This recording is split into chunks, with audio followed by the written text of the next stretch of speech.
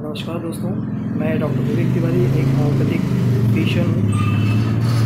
और आज मैं आप लोगों को ये जो मैं वीडियो बना रहा हूँ, आप लोगों के सामने एक बहुत बड़ा आज की जो समय में सबसे ज़्यादा खतरनाक बीमारी चल रही है कैंसर, ठीक है? और आज चार फरवरी को विश्व कैंसर दिवस के रूप में मनाया जाता है। ये एक ऐसा दिवस है कि इसकी हम खुशी नहीं मना सकते एक बहुत दुख का विषय है, क्योंकि आजकल इतना सामान्य तौर पर ये बीमारी फैलने लगी है। आप जिसको देखें, उसको बहुत कॉमनली सुनने में आता है कि इसको कैंसर है, उसको कैंसर है। पहले बहुत कम सुनने में आता था कि हमारे परिवार में किसी एक को होगा लेकिन आजकल इतना कॉमन हो गया है कि जिसको देखें, हम कैंसर से पीड़ित हैं। तो सबसे पहले हम लोग को ये जानना ज़रूरी है कैंसर के विषय में दो चीज़ें होती हैं। सबसे पहले ये जानना है कि कैंसर क्यों होता है, ठीक है? और इसके बाद कैंसर की रोकथाम हम कैसे कर सकते हैं और सबसे बड़ी धारणा आजकल आम आदमी और सभी लोगों के बीच में जो है कि कैंसर एक लाइलाज बीमारी है, कि cancer is incurable but it is not truth ठीक है? कैंसर को हम क्योर कर सकते हैं? कैंसर को ठीक कर सकते हैं। बिल्कुल क्योरेबल है, लेकिन उसके लिए हमें कुछ परिवर्तन करना होगा। तो ये मैं आपको बताने वाला हूँ, और अभी इस वीडियो में शायद मैं ज़्यादा जानकारी ना दे पाऊँ तो इसके बाद मैं इसको कंटिन्यू रखूँगा। नेक्स्ट उसमें वीडियो में अपलोड करूँगा कि कैंसर को हम कैसे रोकथाम कर सकते हैं। क्योंकि आजकल आपने देखा होगा, जैसे मैं एलोपैथी का बुराई नहीं कर रहा हूँ, उसके अगेंस्ट नहीं हूँ। लेकिन चाहे वो मॉडर्न पैथी हो या कोई भी ट्रीटमेंट हम करवाते हैं, जैसे कीमोथेरेपी करवाते हैं रेडिएशन करवाते हैं तो इसमें हम एक रेशियो देखें। जैसे आप तो रेशियो जो देखा जाता है बड़े लेवल पे, लेकिन हम अभी छोटे पैमाने पे बात करें, एक आम आदमी की बात करते हैं तो आप, आपके नियरेस्ट दस लोगों की एक लिस्ट तैयार करिए, ठीक है? उसमें ये देखिए कि दस लोगों ने क्या ट्रीटमेंट लिया था और उसका रिज़ल्ट क्या रहा? तो दस में से आपको मोस्टली आठ नौ लोगों में सुनने में आ जाएगी कि इन्होंने ऑपरेशन करवा लिया है और इसके बाद भी उनको रिपीट हुआ है, फिर रेडिएशन करवाया है कीमोथेरेपी करवाया है इसके बाद भी वो ठीक नहीं हुए।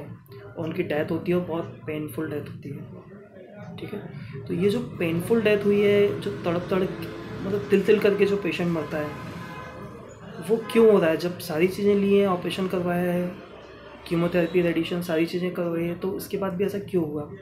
ये बहुत सोचने वाला विषय है, ठीक है?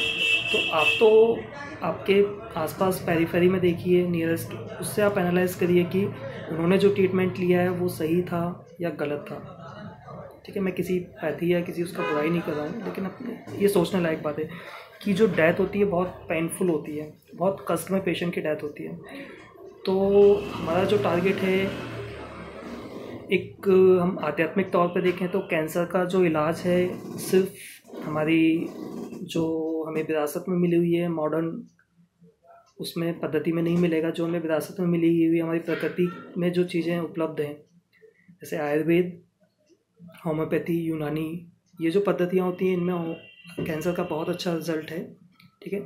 तो इसलिए कैंसर के सभी लोगों को एक बार ये चीज़ें यदि लेते हैं साथ में तो उनको इतनी तकलीफ़ नहीं होगी, ठीक है? तो सबसे पहले मैं आपको इसके जो कारण होते हैं वो बताना चाहूँगा, ठीक है? कि एक मॉडर्न पैथी का जो कॉज है कारण है, उनके अकॉर्डिंग वो एक अलग होता है, ठीक है? जैसे कहते हैं कि तंबाकू खाने से टोबेको खा रहे हैं तम्बाकू खा रहे हैं, या स्पाइसी फ़ूड लेते हैं, ठीक है? या अल्कोहल वगैरह, ये सब चीज़ें ले रहे तो इनसे कैंसर होता है, लेकिन इतने हज़ारों लोग तम्बाकू खा रहे हैं, उनको सभी को तो नहीं हो रहा है। या काफ़ी लोग हैं जो स्पाइसी फ़ूड लेते हैं, उनको सभी को तो नहीं हो रहा है।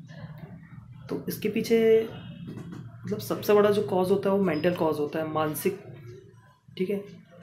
तो आज की इतनी भागदौड़ी वाली लाइफ में हम लोग कैसे जी रहे हैं, हमारी जो लाइफ स्टाइल जो चेंज हुई है, जैसे आज हम अपने बच्चों को जो खाना दे रहे हैं, सारे फास्ट फ़ूड जो ले रहे हैं, जिसमें प्रिजर्वेटिव का यूज़ होता है, आप उसके कंटेंट देखिए और उनका बॉडी पे एक्शन क्या होता है, वो देखिए। तो आपको समझ आएँगे कि हम जो जो भी फ़ूड दे रहे हैं फास्ट फ़ूड दे रहे हैं बच्चों को या सभी लोग ले रहे हैं, जैसे कोल्ड ड्रिंक हम लोग लेते हैं, सारी चीज़ें लेते हैं तो उसके कंटेंट क्या हैं? ये सारी चीज़ें हम लोग जो लाइफ स्टाइल में चेंज हुआ है, ठीक है? ये सब एक कैंसर का कारण हुआ है, ठीक है? पहले के लोगों को बहुत कम हुआ करता था, लेकिन आजकल सभी जो जनरेशन है, आजकल की, वो सभी इन पर डिपेंडेंट हो चुकी है फास्ट फ़ूड पर। और जहाँ भी प्रिजर्वेटिव का यूज़ हुआ है, और कुछ चीज़ें लॉन्ग टर्म तक रखी रहती हैं तो उसके बाद ये हमारे बॉडी पे बहुत साइड इफ़ेक्ट होता है इनकी वजह से, ठीक है? और इसके बाद मानसिक तनाव। मानसिक तनाव जो होता है, वो बहुत ही ख़तरनाक होता है। ये सब चीज़ें जो फ़िज़िकल डैमेज कर रही हैं, वो एक अलग है, लेकिन जो मानसिक तनाव होता है, उसका हमारी बॉडी पे सबसे ज़्यादा अफेक्ट है। ठीक है कि हमारी लाइफ स्टाइल कैसी है, हम लोग अपनी लाइफ को कैसे जी रहे हैं, हमारे माइंड पे कितना रिलैक्स है, कितना हम लोग टेंशन ले रहे हैं। आजकल जॉब प्रोफ़ाइल और सारी चीज़ें जो हमारा मानसिक तनाव डिस्टर्ब हुआ है, मानसिक तनाव हमारे ऊपर जो आया है, उसकी वजह से ही कैंसर के इतने सारे और सबसे पहला कि आज हमको कुछ भी जस्ट लाइक छोटी सी गठान होती है कहीं भी बॉडी में तो सबसे पहला टेंशन ये आता है कि कैंसर तो नहीं है। और डॉक्टर उसको बोल देते हैं कि बायोप्सी कराओ ये आप ठीक है? तो बायोप्सी यदि आप करवाते हैं तो उसकी वजह से कैंसर होने के चांसेस बहुत ज़्यादा बढ़ जाते हैं। मोस्टली बहुत सारे केसों में ऐसा होता है कि बायोप्सी करवाने के बाद ही कैंसर हुआ है। ठीक है? तो और भी सारे टेस्ट होते हैं, वो करवा के हम लोग कंफर्म कर सकते हैं कि कैंसरस ग्रोथ है या नॉन कैंसरस है। लेकिन बायोप्सी की बात काफ़ी दिक्कत होती है और उसके बाद कैंसर डेवलप होने के चांसेस बहुत ज़्यादा बढ़ जाते हैं। तो ये सब तो उसके कारण में आ जाएँगे और उसके बाद हमें अब ये वीडियो इतना तो इतना समय नहीं है कि मैं एक ही उसमें सारी चीज़ें बताऊँ, इसलिए शॉर्ट में बता रहा हूँ। इसके बाद नेक्स्ट उसमें सारी चीज़ों को डिटेल में एक्सप्लेन करूँगा, ठीक है? तो कैंसर का रोकथाम या उसके ट्रीटमेंट के लिए हम चाहे कोई भी ट्रीटमेंट ले रहे हैं, सबसे ज़्यादा पेशेंट को मानसिक रूप से दृढ़ होना बहुत ज़रूरी है। उसको मानसिक यदि तनाव रहेगा, यदि उसने सोचा कि मुझे कैंसर है और अब मैं ठीक नहीं हो पाऊँगा, मैं मर जाऊँगा तो डेफिनेटली कोई ट्रीटमेंट उस पर असर नहीं होगा क्योंकि वो मानसिक तौर पे तनावग्रस्त है। तो हमें सबसे पहला ये है कि मोरल सपोर्ट पेशेंट का बहुत ज़रूरी है। पहले उसको हमें मोरली सपोर्ट करना है, उसका मानसिक तनाव दूर करना है उसको ये विश्वास दिलाना है कि आप इस बीमारी से ठीक हो जाओगे डेफिनेटली ठीक हो सकते हो। आजकल इतने एडवर्टाइज़ आ रहे हैं और डॉक्टर बोल देते हैं एडवर्टाइजमेंट में भी लिखा होता है कि ये इनक्योरेबल डिसीज़ है और ये ठीक नहीं होती है। तो सबसे पहला पेशेंट को वहीं टेंशन हो गया है, उसके जो माइंड में बैठ गया है कि अब मैं ठीक नहीं हो पाऊँगा।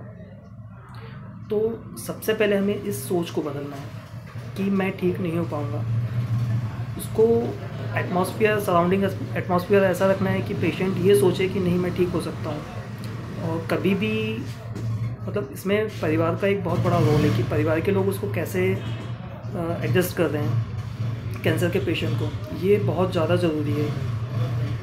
तो कैंसर के जो भी पेशेंट हों, उनके परिवार वालों से मेरा एक निवेदन है कि पेशेंट को कभी भी तनावग्रस्त ना होने दें और उसे हमेशा पॉजिटिव बिहेवियर की लिए प्रेरित करें कि आप पॉजिटिव रहिए, आप डेफिनेटली ठीक होंगे। और हमेशा पेशेंट का जो कैंसर में होता है इम्यूनिटी वीक होती है। नर्व पावर वीक हो जाते हैं। मेनली जो एक कॉज होता है डेथ का, कि नर्व पावर वीक हो गई है और उसकी इम्यूनिटी वीक हो गई है। और एक मेंटल टेंशन जो है ये तीन चीज़ों को यदि हमने ठीक कर लिया तो पेशेंट कभी भी कभी भी उसको डेथ नहीं हो सकती है। किसी भी स्टेज से वो वापस आ सकता है रिवर्स कंडीशन में आ सकता है, लेकिन हमें ये तीन चीज़ों को सुधारना होगा। पहले उसका इम्यूनिटी स्ट्रॉन्ग करना है, सबसे पहला तो इम्यूनिटी स्ट्रॉन्ग करना है सबसे इंपॉर्टेंट और उसका मेंटल जो पावर है वो बढ़ाना है, मानसिक तनाव उसका दूर करना है। यदि ये दो हम कर लेते हैं तो डेफिनेटली पेशेंट को बहुत अच्छा रिज़ल्ट मिलेगा। और ये नहीं कर पाते तो चाहे आप कोई भी ट्रीटमेंट करवा लीजिए उसको आराम नहीं मिलेगा। तो आज विश्व कैंसर दिवस के होने पर मैं सिर्फ़ यही एडवाइस करूँगा कि आप ये तीन चीज़ों को दूर करिए और पेशेंट को पॉजिटिव रहने का कहिए। और इसके बाद मैं आप लोगों को आ,